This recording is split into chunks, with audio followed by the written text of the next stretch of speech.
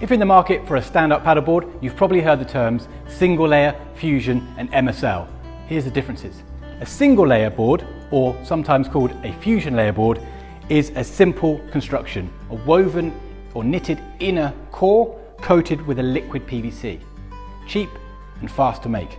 This though makes the board very bendy and flexible, not very durable and prone to leaks and cracks, low performance, so not very stiff, and it loses its shape over time. You can see that when you stand on the board, it will bend. An MSL board, and this is only available from Red Paddle Co, uses a very similar inner woven or knitted core, but has a reinforced outer layer.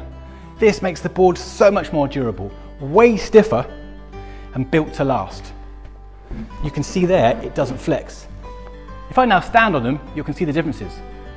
The single layer board flexes heavily when I put my weight onto the board, and as you paddle, it will flex more.